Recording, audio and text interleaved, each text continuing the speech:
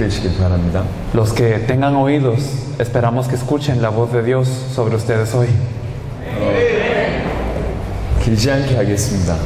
Lo vamos a hacer breve. 어, 주어진 시간 안에 10시 안에 어, 마치되 꼭 필요한 말씀을 전달하도록 하겠습니다. Vamos a terminar en el tiempo que nos es dado y en este tiempo, antes de las 10, vamos a concluir. 성경을 좀 읽어야 되는데 할 수 있으면 이 창에 성경 구절을 좀 띄워주시면 좋겠습니다. Tendremos que leer mucho la Biblia, por lo que si es posible le encargamos al equipo que está a cargo de la pantalla que sea muy ágil para ponernos los versículos. 요한복음 4장 말씀 보겠습니다. Vamos a leer la palabra en Juan capítulo 4. 4장 5절로 30절입니다. Vamos a leer Juan capítulo 4 del versículo 5 al 30.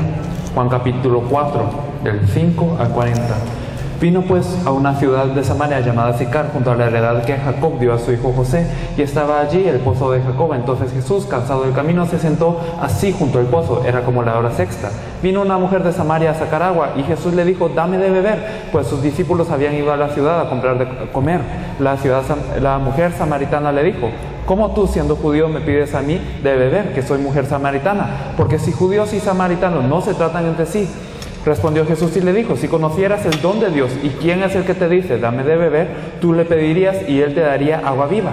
La mujer le dijo, Señor, no tienes con qué sacarla y el pozo es hondo. ¿De dónde pues tienes el agua viva? ¿Acaso eres tú mayor que nuestro padre Jacob que nos dio este pozo, del cual bebieron él, sus hijos y sus ganados? Respondió Jesús y le dijo, cualquiera que bebiere de esta agua volverá a tener sed, mas el que bebiere del agua que yo le daré no tendrá sed jamás, sino que el agua que yo le daré será en él una fuente que salte para vida eterna. La mujer le dijo, Señor, dame esa agua para que yo no tenga sed, ni venga aquí a sacarla. Jesús le dijo, ve, llama a tu marido y ven acá. Respondió la mujer y dijo, no tengo marido. Jesús le dijo, bien has dicho, no tengo marido, porque cinco maridos has tenido y el que ahora tienes no es tu marido. Esto has dicho con verdad. Le dijo a la mujer, Señor, me parece que tú eres profeta. Nuestros padres adoraron en este monte y vosotros decís que en Jerusalén es el lugar en donde se debe de adorar. Jesús le dijo, mujer, créeme que la hora viene cuando ni en este monte ni en Jerusalén adoraréis al Padre. Vosotros adoráis lo que no sabéis. Nosotros adoramos lo que sabemos, porque la salvación viene de los judíos. Mas la hora viene y ahora es cuando los verdaderos adoradores adorarán al Padre en espíritu y en verdad, porque también al Padre tales adoradores buscan que le adoren. Dios es espíritu y los que le adoran en espíritu y en verdad es necesario que le adoren. Le dijo la mujer, sé que ha de venir el Mesías llamado el Cristo. Cuando Él venga nos declarará todas las cosas. Jesús le dijo, yo soy el que habla contigo. En esto vinieron sus discípulos y se maravillaron de que hablaba con una mujer. Sin embargo, ninguno dijo qué preguntas o qué hablas con ella. Entonces la mujer dijo, dejó su cántaro y se fue. Y fue a la ciudad y dijo a los hombres, venid, ved a un hombre que me ha dicho todo cuanto he hecho. ¿No será este el Cristo? Entonces salieron de la ciudad y vinieron a él. Vamos a hablar un poco de esta mujer samaritana. 사마리아 여인에 대해서 여러분 잘 아시죠? Ustedes conocen muy bien acerca de esta mujer samaritana, 남편이 다섯 명 있고 que tenía cinco maridos, 대낮에 물을 길러 왔어요. que ella venía a recoger agua al, me- al mediodía. 이스라엘은 사막 기후이기 때문에 낮에는 잘 움직이지 않습니다. Israel es un lugar desértico, por lo que en la tarde no se mueve mucho. 혼자 물 길러 왔다는 얘기는 이미 사회적으로 고립돼 있다는 얘기. El hecho de que solita iba a traer agua significaba que ya estaba apartada de la sociedad. 그 시대는 노예가 존재했습니다. En esa época existían esclavos. 본인이 직접 물 길러 왔다는 것은 돈도 없다는 얘기죠. El hecho de que ella misma hubiese venido a traer su agua significaba que ella no tenía dinero. 가정 문제, 경제 문제, 사회 문제 다 겪고 있는 그런 여인입니다. Significa que era una mujer que pasaba de un problema de familia, pasaba un problema interpersonal, un problema social y económico. 이 여인이 예수님을 봤어요. Esta mujer vio a Jesús. Esta mujer se encontró con Jesús. Y esta mujer habló con Jesús. Y no aconteció nada. Se encontró con Jesús. Habló con Jesús. Y vio con sus ojos a Jesús. Pero esta mujer no fue salva. Pero ¿qué aconteció con esta mujer? En el momento de que este Jesús que ella veía frente a sus ojos pareció que él era el Cristo. Cuando ella se percató de que este joven joven frente a ella, Jesús era el Cristo. La vida de ella cambió. No por ver con los ojos a Jesús somos salvos. No por tocarlo somos salvos. No por encontrarnos con él somos salvos. No por hablar con él somos salvos. Sino debemos de ser capaces de ver que este Jesús es el Cristo. Debemos de poder creer que es este Jesús es el Cristo. Solamente así somos salvos. Hoy hay muchos creyentes. Y ellos conocen a Dios. Conocen a Jesús. La mujer samaritana igual. Ella conocía a Dios. Se había encontrado con Jesús. Pero su vida no había cambiado. Tenía cinco maridos. Tenía un problema económico. Y seguía en su problema social 전혀 바뀌지 않았어요. No cambió para nada. 언제 그 모든 문제가 문제가 안 됐냐? Pero ¿cuándo es que todos esos problemas dejaron de ser problemas? 눈앞에 보여진 그 예수가 그리스도라는 사실이 깨달아질 때, Cuando ella se percató de que este Jesús frente a sus ojos es el Cristo. 내 눈앞에 있는 이 예수가 그리스도라고 믿으실 때, Cuando ella pudo creer que este Jesús frente a ella es el Cristo. 그 사람의 문제는 더 이상 문제가 안 됐습니다. El problema de ella ya no era problema. 문제가 안 됐을 뿐만 아니라 모든 마을 사람들을 건지는 전도자로 완전히 no simplemente dejó de ser un problema, sino ella cambió a ser una evangelista que en un momento salvó a toda su ciudad.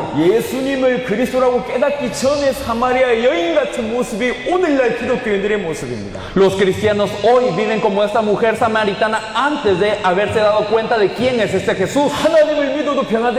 Aunque creen en Dios no hay cambio. Aunque creen en ellos se han encontrado con Jesús no hay cambio. 심지어 예수님을 눈으로 보고 대화했다고 했는데도 변화되지 않고 Aún muchos dicen haberlo visto y hablado con él, pero no hay cambio en sus vidas. 여전히 문제 가운데 있습니다. Siguen en su problema. 왜 신자들의 인생이 변화되지 않을까요? ¿Por qué la vida de los creyentes no cambia? 왜 여러분의 인생이 바뀌지 않을까요? ¿Por qué sus vidas no cambian? 왜 목회가 이토록 힘들까요? ¿Por qué es tan difícil ser un pastor? 예수님을 그리스도로 발견하기 전에 porque somos igual que la mujer samaritana antes de percatarnos de Jesús como Cristo.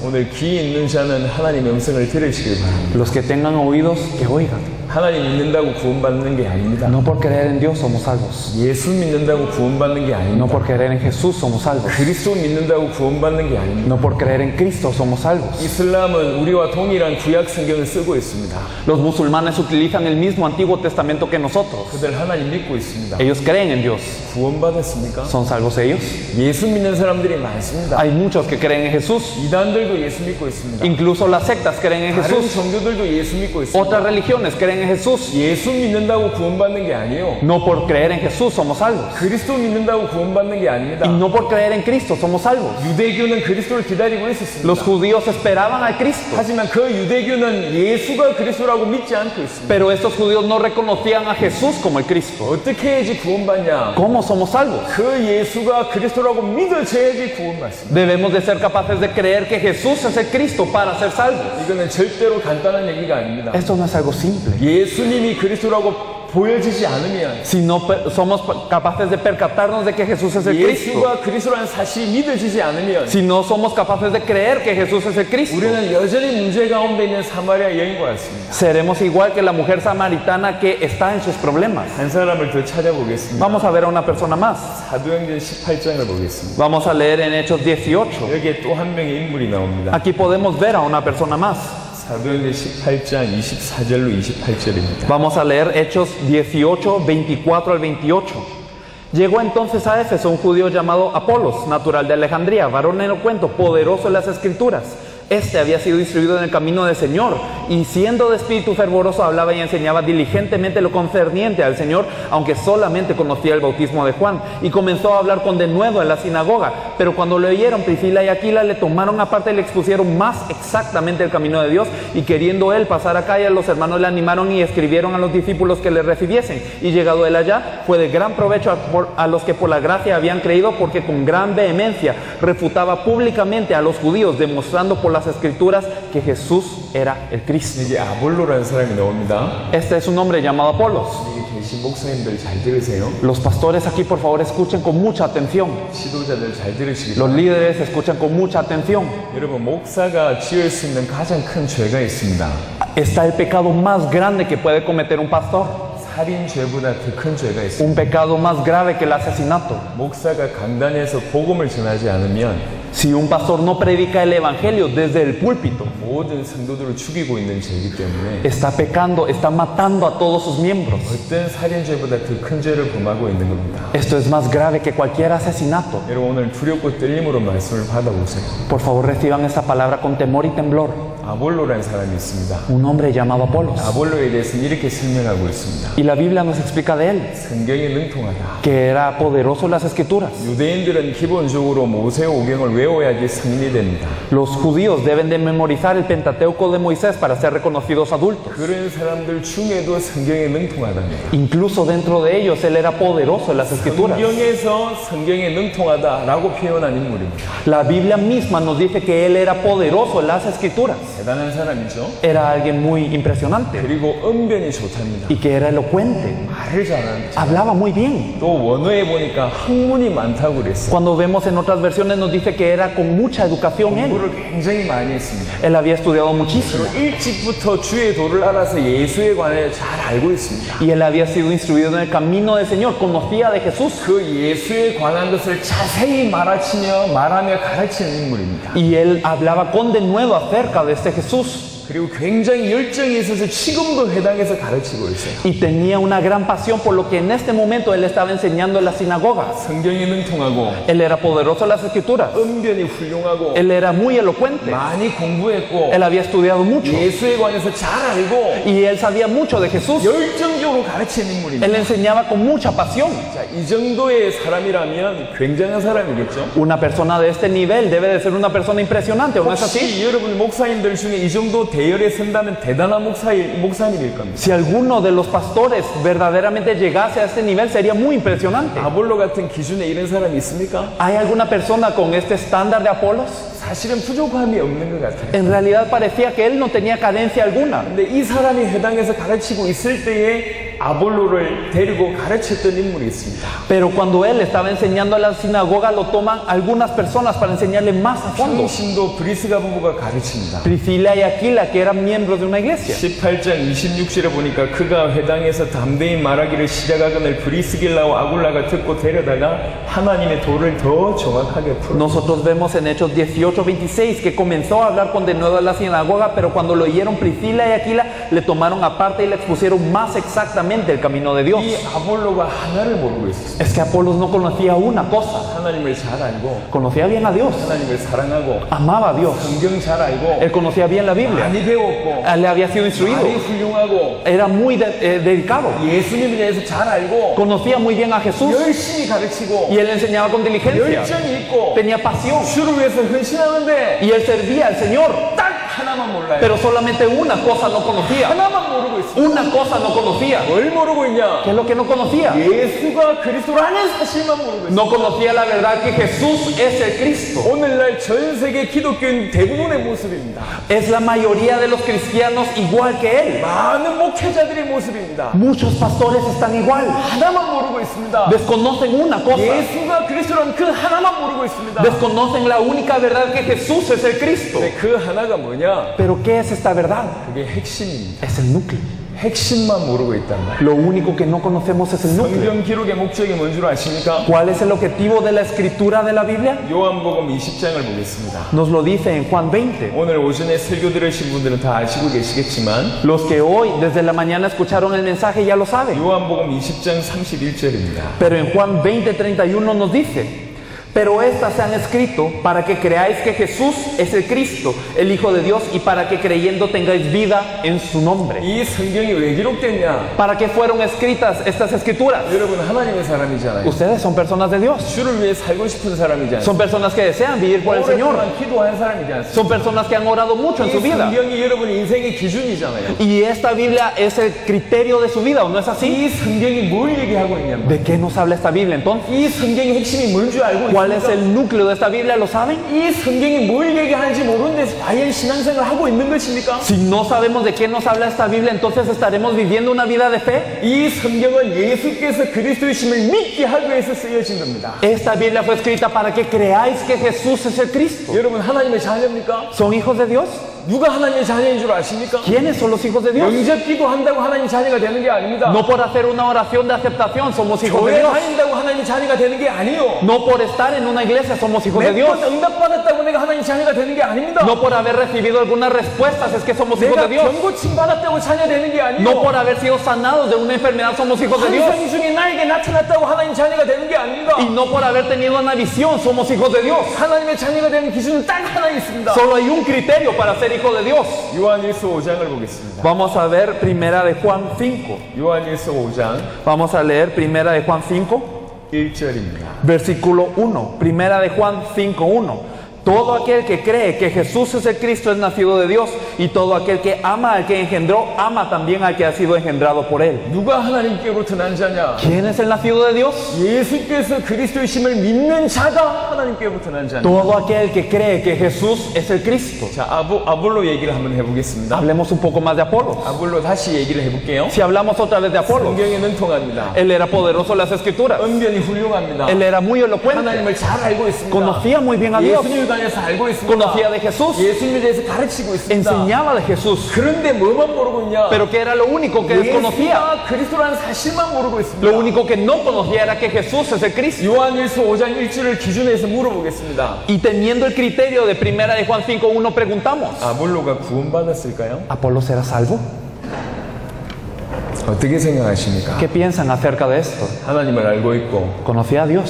성경에 능통하고 Era poderoso en las escrituras. 언변이 훌륭하고 Y él era alguien muy elocuente. 학문이 많고 Tenía mucha educación. 예수님에 관해서 잘 알고 Y conocía bien a Jesús. 열정이 있어서 가르치는 그 인물이 Tenía pasión y enseñaba. 구원받았을까요? Pero ¿será que él era salvo? 여러분 어떻게 생각하십니까? ¿Qué piensan acerca de él? 만약 요한일서 5장 1절의 유일한 구원의 기준이라면 Si nosotros consideramos primera de Juan 5.1 como el estándar de la salvación, 예수께서 하나님의 아들 정말로 예수가 그리스도란 그 사실만 아는 자 그것을 믿는 자가 하나님께부터 난 자 요것만이 기준이라면 si verdaderamente el único estándar de ser salvo es conocer y creer a Jesús como el Cristo, el Hijo de Dios, 아볼로는 구원받았다고 확신하지 못합니다. no podemos estar seguros de que Apolo será salvo. 자, 그럼 물어보겠습니다. Entonces preguntemos, 여러분 어떻습니까? ¿y ustedes?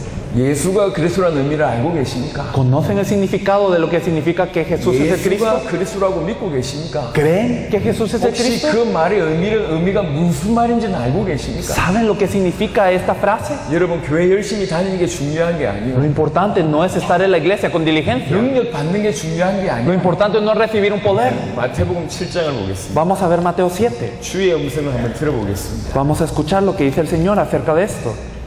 마태복음 7장 21절로 23절입니다. Mateo capítulo 7, 21 al 23. No todo el que me dice Señor, Señor entrará en el reino de los cielos, sino el que hace la voluntad de mi Padre que está en los cielos.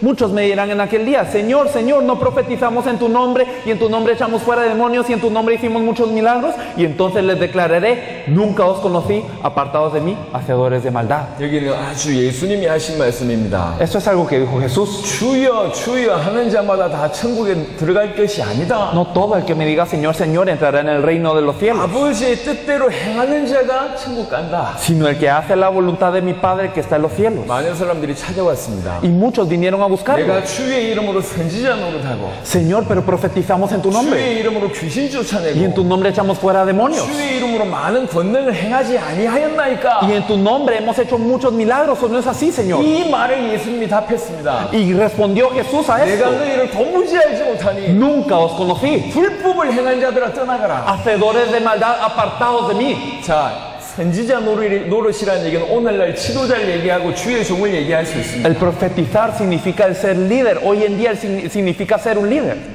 자, 목사가 지옥 갑니까? ¿Será que los pastores van al infierno? 목사가 지옥 갈 수 있습니까? ¿Puede ser que un pastor vaya al infierno? 예, 지옥 갈 수 있습니다. Puede ser que un pastor vaya al 오늘 이 infierno. 말씀에 근거해서 conteniendo esto como evidencia.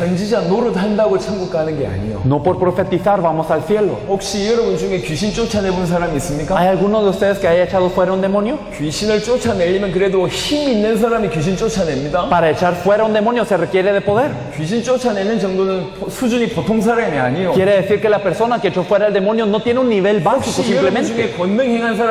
¿Hay alguno de ustedes que haya hecho un milagro? Cuando ustedes han orado, alguien ha cobrado vida? 여러분이 기도하면 누가 치유받은 적이 ¿O 있습니까? cuando oraron, alguien fue sanado? 권능을 행했다는 정도는 대단한 사람입니다. El hacer un milagro significa que las personas que lo hicieron eran grandes. Los profetas eran 귀신 grandes. 쫓아내는 것도 대단하고 Aquellos que echaban fuera demonios eran grandes. Los que hacían milagros eran grandes. 이게 불법입니까? ¿Era esto maldad acaso? 선지자 노릇이 불법이요? ¿El profetizar es maldad? 귀신 쫓아내는 게 ¿Echar 불법입니까? fuera un demonio es maldad? 권능 행한 게 불법입니까? ¿Hacer un gran milagro es maldad? 이건 불법이 아닙니다. No es maldad 근데 esto. 왜 불법을 행했다고 얘기하냐? Pero ¿por qué Jesús le dice hacedores de maldad? 주의 뜻대로 하지 않았기 때문에 그래요. Porque no lo hicieron de acuerdo a la voluntad del Señor. 이 세 가지를 할 수 있어도 Es que aunque uno pueda hacer estas tres cosas, 주의 뜻대로 하지 않는다면 si no lo hacemos de acuerdo a la voluntad del Señor, 천국은 보장받을 수가 없습니다. no tenemos garantía del cielo. 저는 여러분을 비난하려고 여기 선 게 아닙니다. Yo no estoy aquí para criticarlos, 야단치려고 선 게 아닙니다. no estoy aquí para regañarlos. 구원이란 문제는 너무 중요합니다. Es que la salvación es algo sumamente 여러분의 importante 인생이 달려 있습니다. y su vida depende de ello. 여러분의 영혼이 달려 있습니다. Sus almas dependen de ello 여러분의 성도들의 인생이 달려 있습니다. y las vidas de los miembros de sus iglesias dependen de ello. 그것만큼은 정확하게 알고 있어야 됩니다. Por lo menos esto debemos de tenerlo preciso. 일평생 교회 다니다가 지옥 가면 어찌 된단 말이에요. Pero ¿qué pasa si alguien va toda su vida a la iglesia y luego va al infierno? 일평생 하나님 일을 한다고 살면서 지옥 가면 어찌 됩니까? Y toda su vida ha dado su vida por el Señor y luego termina en el infierno. 복음만큼은 정확하게 알고 있어야 Por 돼요. lo menos el Evangelio lo tenemos que tener claro. 하나님의 뜻대로 행하지 않으면 Si no lo hacemos de acuerdo a la voluntad de Dios, 그 누구도 천국 갈 수 없습니다. ¿cuál- nadie puede ir al cielo. 그럼 하나님의 뜻이 뭡니까? Entonces, ¿cuál es la voluntad de Dios? 요한복음 6장을 보겠습니다. Vamos a ver Juan 6. 요한복음 6장 Juan capítulo 6. 39절 40절에 하나님의 뜻이 나와 있습니다. En el versículo 39 y 40 podemos ver la voluntad de Dios. Juan 6, 39 y 40. Y esta es la voluntad del Padre, el que me envió, que de todo lo que me dieren no pierda yo nada, sino que lo resucite en el día postrero. Y esta es la voluntad del que me ha enviado, que todo aquel que ve al Hijo y cree en Él tenga vida eterna y yo le resucitaré en el día postrero. Podemos ver dos veces cuál es la voluntad. El versículo 40 nos dice que todo aquel que ve al Hijo y cree en Él tenga vida eterna. ¿Y cómo podemos tener vida eterna según lo que leímos antes? 요한복음 20장 31절을 보니까 예수께서 그리스도이심을 믿는 자가 그 이름으로 말미암아 영생 얻는다고 얘기했습니다. Juan 20, 31 nos dice que todo aquel que cree que Jesús es el Cristo verdaderamente puede tener vida en su nombre. 아들을 보고 믿는 자란 말은 그 아들, 그 예수가 그리스도라고 믿는 자란 뜻을 얘기하는 겁니다. Nos dice que todo aquel que ve al Hijo y cree en Él, ¿y quién es el Hijo? Es que Jesús es el Cristo. Todo aquel que lo mire y cree en Él tenga vida eterna. 우리 아버지의 뜻은 예수가 그리스도라는 사실을 믿고 영생 얻게 하는 것이 아버지의 뜻이에요. La voluntad del Padre es que todos aquellos crean que Jesús es el Cristo y tengan vida eterna. 그리고 두 번째가 39절에 아버지께서 주신 자 중에 하나도 잃지 않는 게 아버지의 뜻이에요. Y en el versículo 39 nos dice que de nada, que de todo lo que le dio a Él, que no pierda nada. 구원받기로 작정된 자들을 다 살리는 게 아버지의 뜻이에요. Es decir, que todos aquellos que están preparados para la salvación puedan ser salvos. 그게 세계복음합니다. Es la evangelización del mundo. 40절은 예수가 그리스도라는 사실 보고 믿고 영생 얻는 이건 복음이라고 얘기할 수 있고 Podemos decir que Juan 6:40 nos habla de todo aquel que cree en el Hijo. Eso es el Evangelio. Y en el versículo 39, que de todo lo que le diere no pierda nada. Esto es la evangelización mundial. Esa es la voluntad del Padre. 아버지의 뜻을 모르고 선지자 노릇하거나 귀신 쫓아내거나 권능 행해 본들 천국 못 들어간다 그 말입니다. Pero es que sin conocer esta voluntad del Padre, aunque nosotros profeticemos, echemos fuera demonios y hagamos milagros, en realidad no somos salvos. 귀 있는 자는 하나님의 음성을 들으시길 바랍니다. Que los que tengan oídos para oír, oigan la voz 여러분 de 여기 와서 Dios. 찬양 많이 하고 눈물 흘리고 그래 그게 좀 중요한 게 Lo 아니에요. importante no es venir a alabar mucho y derramar muchas lágrimas, 여러분의 인생과 여러분의 성도의 영혼과 아르헨티나가 여기 달려 있습니다. sino que sus vidas, las vidas de los miembros de su iglesia y las vidas en Argentina dependen de eso. 혹시 아볼로 같이 Si en algún momento como Apolo 다 아는데 예수가 그리스도만 모르는 사람들이 있습니까? hay personas que como Apolos han sabido todo excepto que Jesús es el Cristo. 혹시 사마리아 여인같이 Si hay personas que como la mujer samaritana 하나님도 믿고 예수님도 믿는데 그 예수가 그리스도라고 아, 그리스도라는 사실만 모르고 있는 사람 계십니까? Si hay alguien que como la mujer samaritana ha conocido a Dios y ha conocido a Jesús, pero no ha conocido que Jesús es el Cristo, 오늘 여러분들이 답을 얻으셔야 됩니다. entonces hoy debemos de tener una respuesta. 답 얻으면 무슨 일이 벌어지냐? Y si tenemos la respuesta, ¿qué acontece? 사마리아 여인이 예수가 그리스도라는 사실이 믿어지고 나서 마을 전체를 살리는 사람으로 바뀌었고 La mujer samaritana, después de que logró creer que Jesús es el Cristo, se volvió alguien que salvó a toda su ciudad. 아볼로라는 사람이 완전히 바뀌어서 초대교회 전체에 영향 끼친 인물로 완전히 바뀌었습니다. Apolos también cuando conoció esta verdad cambió totalmente y se volvió un líder muy grande de la iglesia primitiva. 오늘 짧은 시간 여러분이 예수가 그리스도라고 깨달아지고 믿어진다면 오늘부터 여러분 인생은 바뀝니다. Si en este tiempo breve se pueden percatar de que Jesús es el Cristo, hoy en este momento sus vidas cambian. 저희는 이 말을 들을 사람을 찾으러 온 겁니다. Nosotros hemos venido a buscar a las personas que escuchan esta palabra. 저희는 우리 대의 세계복음화 완성하려고 이 자- 이 자리에 왔습니다. Nosotros hemos venido a este lugar para culminar la evangelización mundial en nuestros días. 아르헨티나 살릴 사람 이 자리에 있을 거라고 믿고 메시지 하는 겁니다. Nosotros tenemos la fe de que en este lugar hay alguien que va a salvar a Argentina y así estamos dando el mensaje. 하나님이 창세전부터 아르헨티나 살 리기를 위해서 준비하신 사람은 오늘 이 영상을 들으시기 바랍니다. Y espero que la persona que Dios ha preparado desde la fundación del mundo para salvar a Argentina escuche este mensaje hoy. 하나님께서 여러분 쓰실 겁니다. Dios los utilizará. 하나만 몰랐습니다. Es que una cosa no hemos conocido. 예수가 그리스도라는 사실만 몰랐습니다. Lo único que no se ha conocido es que Jesús es el Cristo. 그리스도라는 뜻은 무슨 말입니까? ¿Qué significa Cristo? 기름 부음 받은 자라는 뜻입니다. Significa ungido.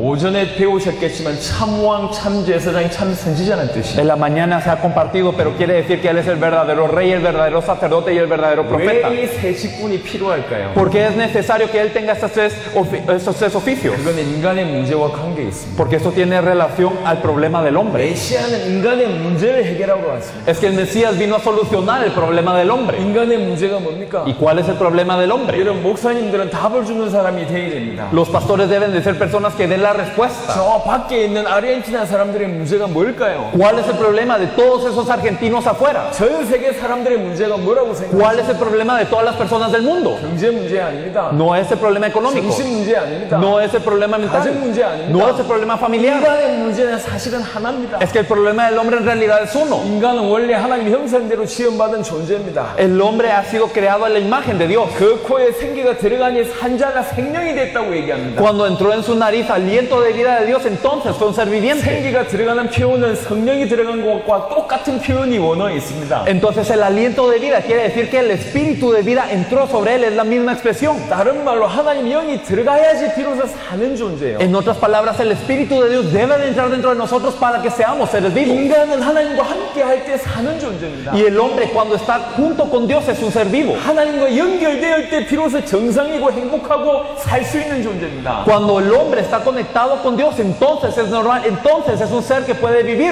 여러분이 가지고 있는 그 좋은 핸드폰이 Estos buenos teléfonos que ustedes tienen en la mano, 기능이 암만 훌륭해도 sin importar qué tan buenas funciones tengan, 전원과 연결되지 않으면 죽은 것과 같습니다. si no están conectados con la electricidad, están igual que muertos. 고장난 것이 아니지만 죽은 것과 같아요. Aunque no están arruinados, están igual que muertos. 우리 인간이 그와 같습니다. Así es el hombre. 하나님과 연결되어 있어야지 사는 존재입니다. Cuando estamos conectados con Dios somos seres vivientes. 그게 하나님 형상대로 지원받은 존재입니다. Esto significa ser creado a la imagen de Dios. 하나님과 함께 할 때 인간은 El hombre cuando está junto con Dios es el ser más bendecido.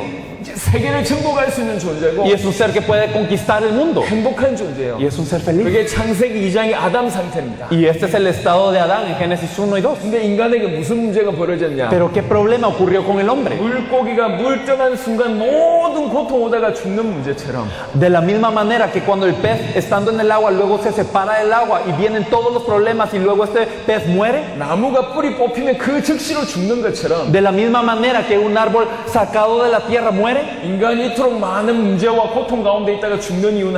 La razón por la que el hombre pasa todos los problemas y muere solamente es una. Es que es que el hombre fue desconectado de Dios. El hombre original debe de estar conectado con Dios para vivir. Pero debido a que el hombre ha sido separado de Dios vienen todos los problemas. Por eso no es exageración decir que el problema del hombre solamente es uno. 对。es que está desconectado de Dios. El problema es único. Por eso la respuesta es única también. ¿Cuál es la respuesta? Se debe de encontrar con Dios nuevamente. El hombre debe de encontrarse con Dios. Y el camino para encontrarse con Dios es único. Ese camino es Cristo.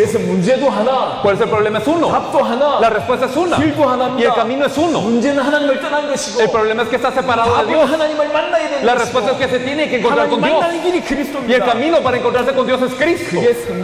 Esto es lo que nos dice la Biblia.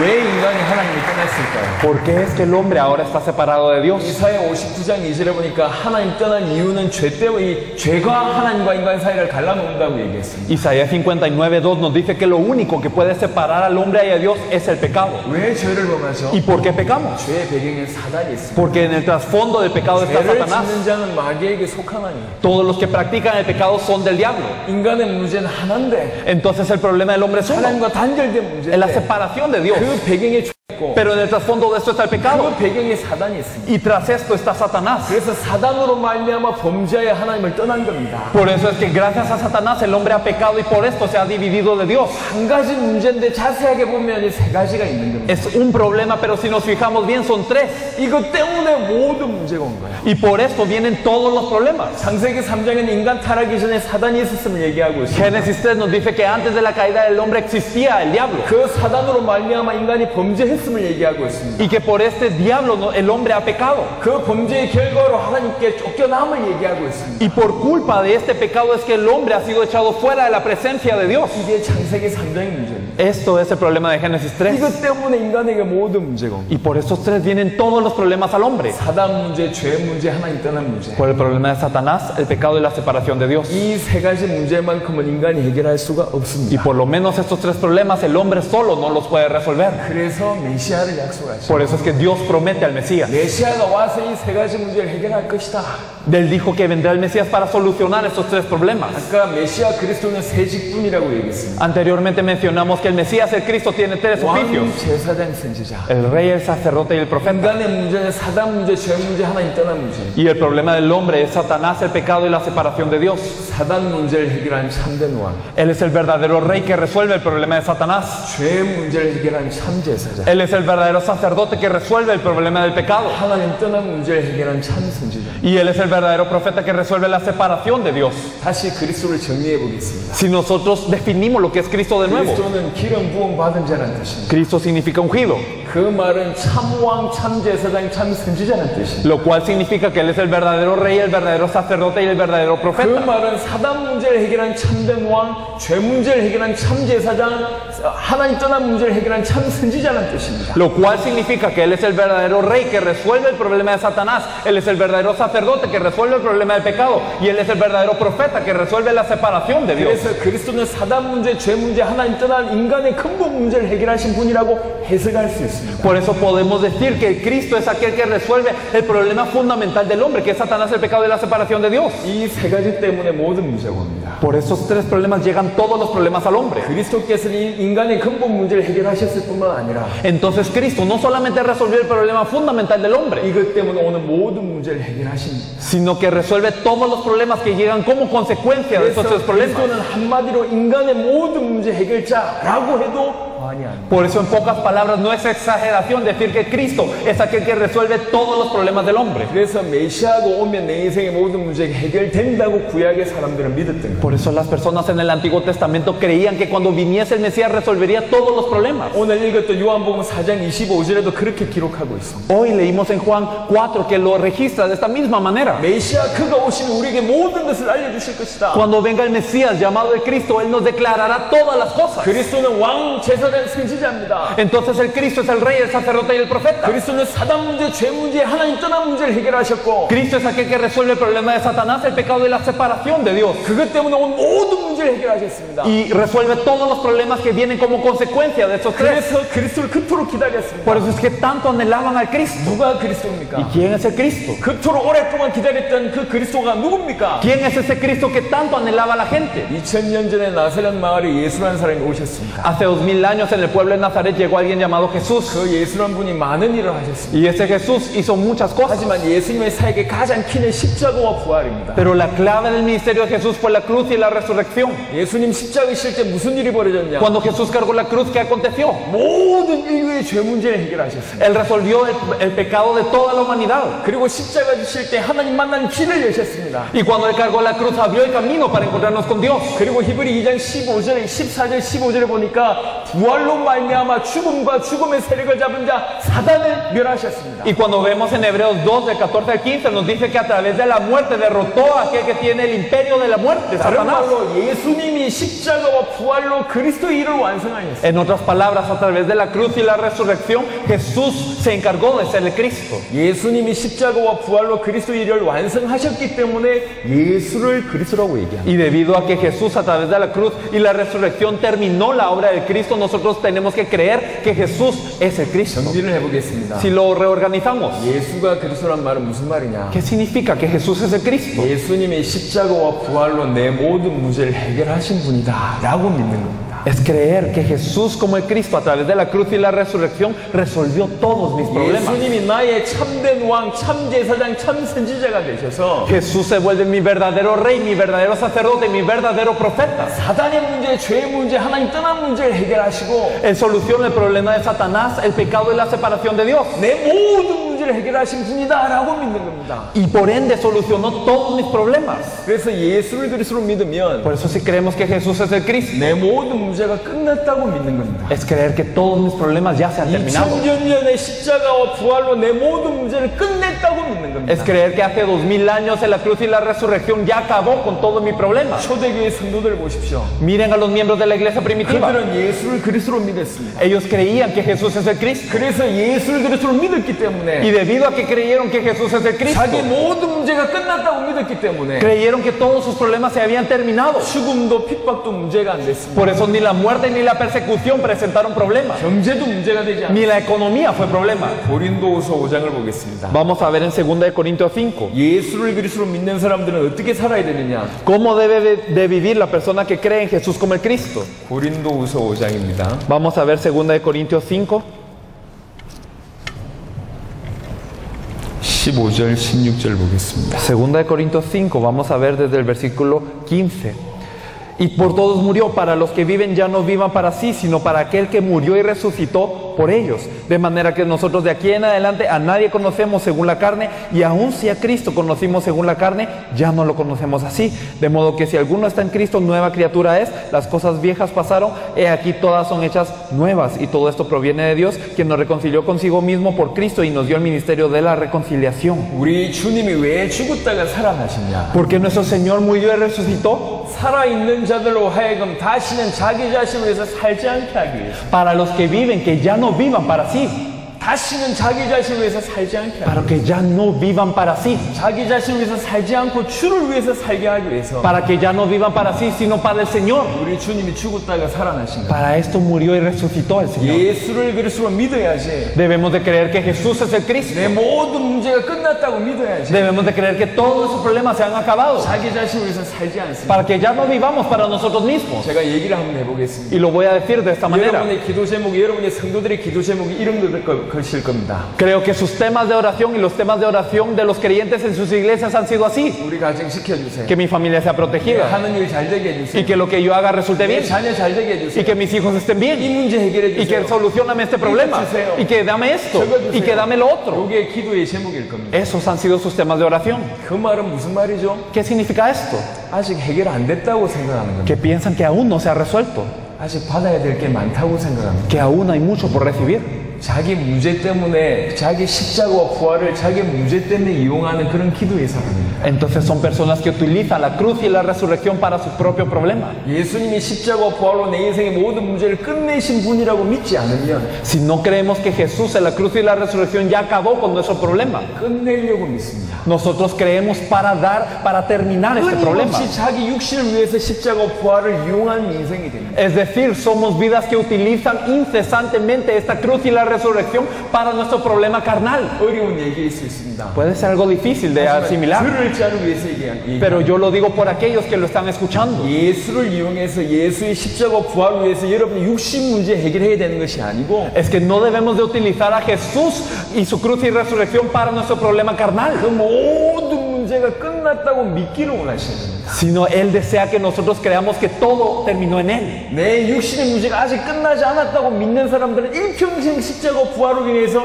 자기 육신의 문제, 자기 자신을 위해서 사는 인생이 되는 것이고 Las personas que no creen que a través de la cruz y la resurrección ya se ha acabado todo problema de su vida, toda su vida van a utilizar esa cruz y la resurrección para intentar solucionar sus problemas carnales con esto. 그런 사람들은 절대로 주를 위해서 살 수가 없습니다. Y estas personas nunca podrán vivir por el Señor. 예수가 그리스도라고 믿으면 Si creemos que Jesús es el Cristo, 그 십자가 부활로 내 인생의 모든 문제 끝났구나고 믿으면 si creemos que con su cruz y su resurrección se terminó todo mi problema, 주를 위해 살 수 있습니다. podemos vivir por el Señor. 시편 23편에 보니까 Si vemos el Salmo 23, 여호와는 나의 목자시요 Jehová es mi pastor, 여호와는 나의 목자시요 Jehová es mi pastor 내가 부족함이 y 없어요. nada me faltará. 여호와가 나의 목자면 Si Jehová es mi pastor, entonces no tengo falta. Si Dios está conmigo, entonces no tengo problema. Si el Señor está conmigo, el problema no es problema. Si el Señor está conmigo, entonces puedo vivir por la voluntad del Señor. Solamente aquellos que verdaderamente recibieron este evangelio pueden vivir por el mundo, pueden vivir por la voluntad del del Señor. Vamos a concluir con esta palabra. Lo dije anteriormente también. 이 도시와 아르헨티나를 살릴 사람이 있을 겁니다. En este lugar hay personas que desde la fundación del mundo fueron preparados para salvar esta ciudad y a toda Argentina. Podría ser que no los haya, pero yo creo que sí los hay. Yo le estoy diciendo a esta persona que del púlpito de todo el mundo se ha esfumado el Evangelio 아볼로 같은 상태입니다. Estamos como Apolos. 예수님을 그리스도로 보기 전에 만나기 전에 사마리아 여인과 같은 상태입니다. Estamos igual que la mujer samaritana antes de reconocer a este Jesús como el 열심히 Cristo. 선지자 노릇하고 귀신 쫓아내고 권능 행하고 있지만 지옥 갈 그런 상태입니다. A pesar que estamos profetizando, echando fuera demonios y haciendo milagros, vamos para el infierno en este estado. 여러분 복음을 알아들으셔야 됩니다. Deben de entender el evangelio. 이런 전 세계 시간표에 저와 여러분들에게 이 복음을 알게 하신 겁니다. En el tiempo de todo este mundo, Dios nos ha permitido reconocer este evangelio. 이 복음을 통해서 전 세계 살릴 수가 있습니다. Entonces podemos salvar a todo el mundo con este evangelio. 지금 말씀입니다. Estamos en los tiempos posteros. Y ya no falta mucho para la venida del Señor. Tenemos que preparar su venida. ¿Y cuándo viene el Señor? Cuando este evangelio del reino se ha predicado a todas las naciones.